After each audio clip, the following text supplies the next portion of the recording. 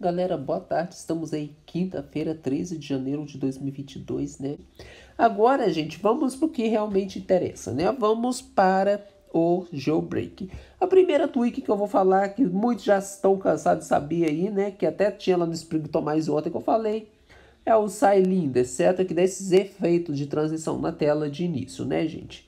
Aí vocês têm que ter jailbreak para botar, é lógico, né? E o Cylinder eu tenho que ver que qual que é a rep oficial dele, não tô lembrado, né?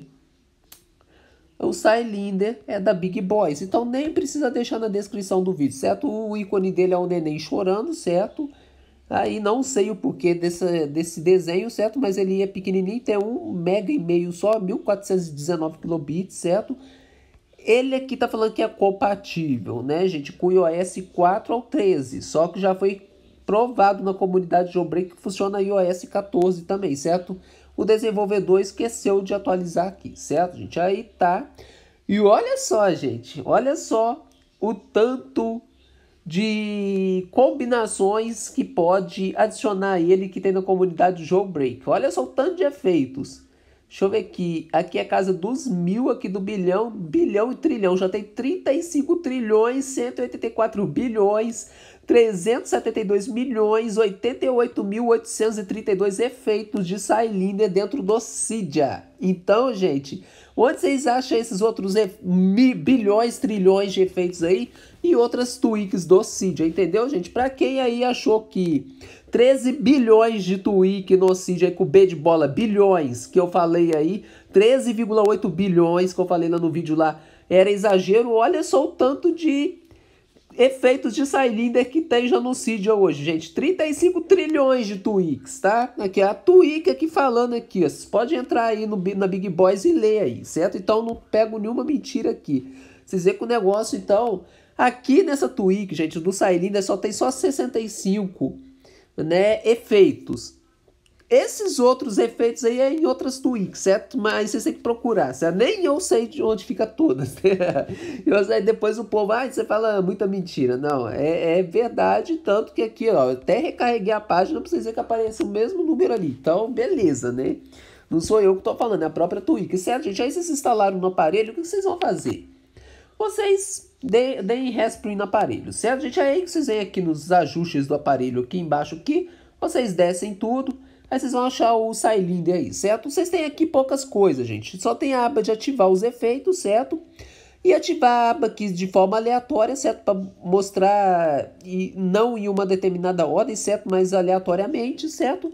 E aqui embaixo que tem outras opções, aqui até o Barrel também, certo? Que é uma outra tweak que funcionava nas iOS mais antigos, que é um opositor a ele. O Barrel também usei pra caramba quando era no iOS 9, certo? E aqui tem o anterior a ele, que é o Barrel. Então deve ter muito mais função dentro do Barrel que aqui também, né? E aí, gente, tem aqui todas as funções aqui. Para vocês marcarem, só vocês clicando na frente dela e vai numerando o que vocês querem aí, certo?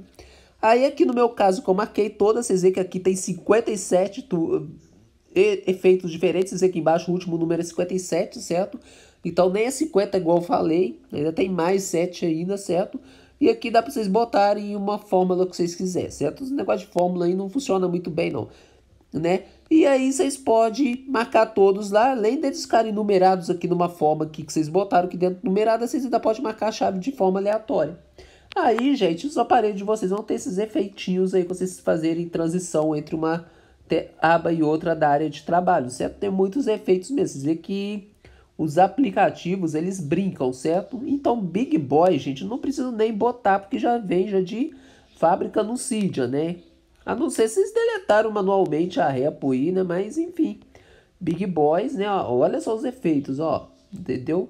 Tem efeito aqui que eu acho que até hoje ainda não vi. Tem muitos. Ó. Esse aí mesmo de, dos negócios juntar, nunca tinha visto. Ó. Então, gente, é só brincar aí, certo? O Cylinder, então, é o primeiro. Outro aí que me perguntaram no vídeo, é que eu fingi que não vi, certo? Agora eu tô com pouca bateria, que dizer que tô com 8% porque eu botei na tomada agora. Liguei o aparelho há pouco tempo, né? E aí, gente, não vai aparecer aqui em cima agora. Mas em outros vídeos aí alguém reparou. Vocês vê que a minha bateria lá em cima tá triste. Certa a carinha ali, um emojizinho triste dentro dela. Eu vou falar agora de uma outra tweak, certo, gente? Que chama Battery Bud, certo? Ou, né? expressões de bateria, certo? Essa é a versão 1.0, certo? É da Hacku iPhone, certo? Suporta aí todos os aparelhos com iOS 13 e 14, certo? Que de novo a compatibilidade está 13.x, mas suporta iOS 14 também. Aí vocês falam, então, como você sabe que suporta? A própria comunidade de jailbreak lá no Redat lá, eles deixam lá uns backup lá dos que suportam ou não, porque o pessoal fica perguntando, ah, pessoal, que do iOS mais novo, né, para testar algumas tweaks nos aparelhos e ver se suportam ou não. Então lá eles dão, né, e falam que suporta, então eu passo já para vocês aqui, certo? Se não suportasse, eu não trazia aqui. O que, que essa, tweak faz, gente? É, eu vou deixar na descrição também a repo da Hack iPhone com o nome aí da tweak também. Ela aqui, gente, como vocês podem ver, ela deixa o, o, a bateria do aparelho, quando vocês põem na tomada, dá um raiozinho no meio dela, certo? E ela fica verdinha, né? O ícone da bateria, né? E só isso, quando não tá carregando, ela fica lá, o íconezinho dela cinzinha lá e vai descendo, vai até 100% e vai descendo. A única coisa que tem é isso, né? Que vai mostrando ali a, a carguinha ali na, na, na defeito da bateria, né? Agora, quando vocês põem essa tweak, gente, quando vocês botar na tomada, certo? A bateria de vocês fica feliz. Aqui no momento que ela tá dando tomada, só que ela tá triste porque eu não saí ainda da tela de início do aparelho. Se eu abrir o aplicativo aqui, ela vai ficar feliz pro padrão ali, certo?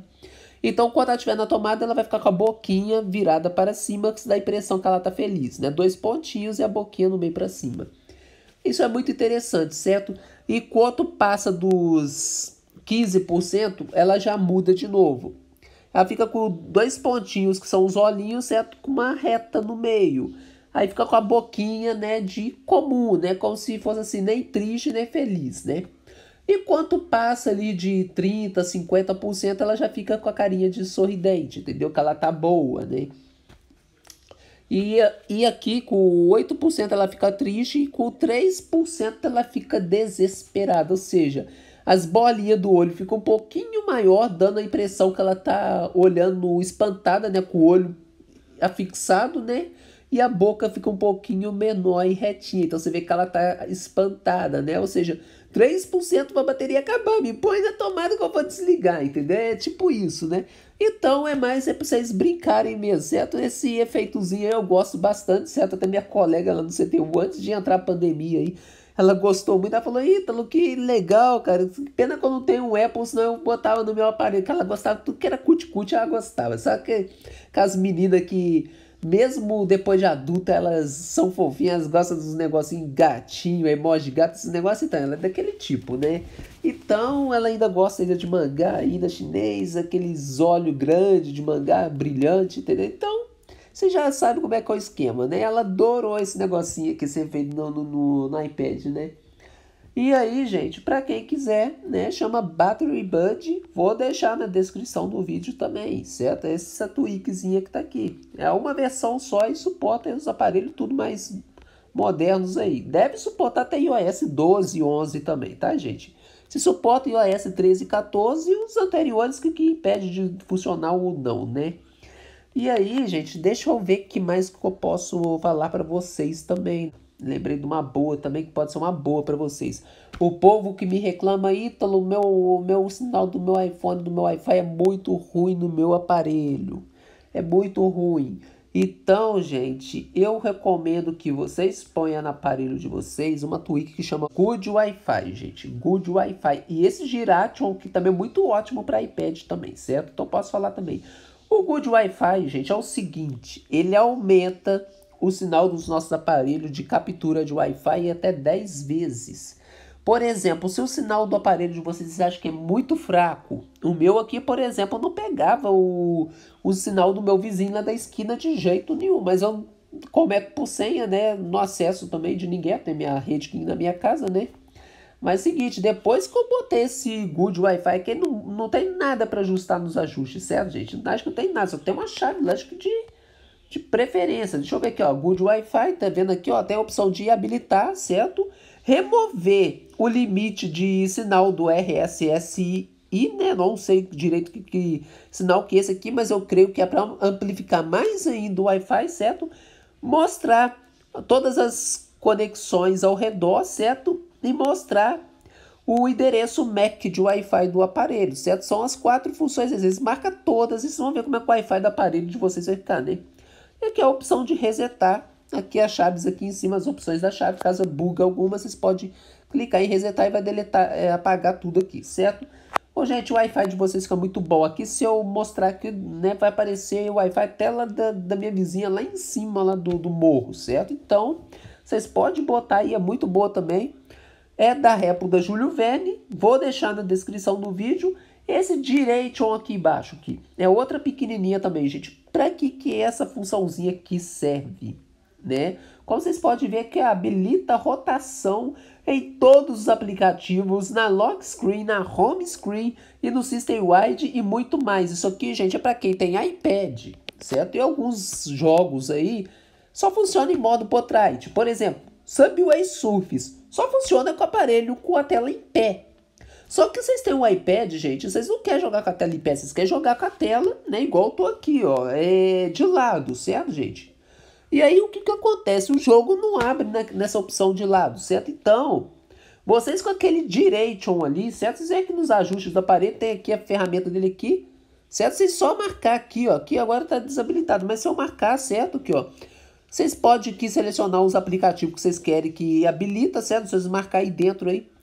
Ô, gente, e aqui também vocês têm como marcar em aplicativos do sistema, certo? Caso um aplicativo aí não gire, certo? A tela dele, vocês vão ver que maravilha, gente. Que maravilha vai ser. Vocês podem jogar qualquer jogo, rodar qualquer aplicativo que vocês quiserem para o modo Landscape ou Portrait, né? Tela em pé e tela deitada em iPad, gente. Então, essa é uma ferramenta top para iPad, top mesmo, certo? E ela também é da Big Boys, certo? Vou deixar na descrição do vídeo aí, certo, gente? E, e fica a critério de vocês aí botar ou não. Só que vai ser para iPad. iPhone não tem necessidade que usar o iPhone com a tela em pé é melhor às vezes do que a tela deitada, né? Mas deve funcionar em iPhone também, acho que funciona, né? Sim, funciona em iPhone e funciona do iOS 9 até o 14. E é universal, vocês veem que é 32 porque funciona no iOS 9 e 64 bit. Então, provavelmente vai suportar também no, no iOS 15. Vocês veem que gira tudo. Olha só as fotos aí para vocês verem aqui, ó. Certo? Olha só, funciona na tela de bloqueio. A tela gira no caso do iPhone, tá vendo aqui, ó? Na, na tela aqui, ó, de importação. Olha só como é que os aplicativos, até a doca aí costuma de mudar, certo? Se vocês marcar na, na área de trabalho também, a doca fica em pé no cantinho da tela e os aplicativos ficam tudo apertadinho ali pra, e gira tudo. Os ajustes também gira, fica em pezinho, tá vendo aqui a calculadora do iOS, né? Ela é em pé pro padrão do, do sistema, mas ela fica deitada também, certo? Então, Dá para vocês fazerem tudo aí, certo? Vocês marcar aí e sejam felizes, certo, gente? Sejam felizes aí, né? E também tem o Wi-Fi Passwords lá também que eu tava falando lá embaixo, certo? Vou parar por aqui, para o vídeo não ficar muito grandão, né? É só para mostrar para vocês algumas tweaks mesmo que eu tenho aqui. Esse Wi-Fi Password aqui é para vocês aí, né? Isso aqui não tem muita utilidade para muita pessoa, não. Você tá falando que aqui, ó, é, é compatível apenas com o aparelho de 32 bits. Mentira. Tá falando que é compatível com o iOS 6, 7, 8 e 9. Eu tô no iOS 13 aqui, funciona no meu aparelho, certo, gente? E funciona também no iOS 14, certo? É uma tweak praticamente universal. Quando o iOS 15, vocês podem testar que vai funcionar lá também. O que, que acontece? Nos ajustes do aparelho, certo? Vocês vão ter também o, um aplicativozinho, só instalar, vocês já vão ter, certo? Olha aqui numa pasta de ferramenta aqui, certo? Que vai ter o ícone do Wi-Fi Password, vocês clicando aí, certo? E vocês vão ver o nome das redes Wi-Fi que vocês entraram e a senha embaixo, as senhas das redes, tudinho. Vocês acessaram, certo? Isso aí é muito bom, certo, gente? Dá para vocês, vocês não ficar tendo que guardar a senha sua, da, do seu Wi-Fi, certo? Do, das outras casas que vocês entraram, no caso de parente, às vezes vocês vão, visitam, vocês esquecem a senha da pessoa. Se só uma vez, depois volta lá, tem que ficar pedindo de novo para acessar, certo? E já aguarda já, certo? Aí quando vocês forem nos ajustes de Wi-Fi do aparelho, vocês botaram a senha que já está salva lá no, no aplicativozinho. E aí vocês podem usar à vontade, certo, gente? Então, eu recomendo demais essas tweaks. Vou deixar na descrição do vídeo para vocês aí, certo? Então é isso aí, até logo e, e tudo de bom a todos, se Deus quiser.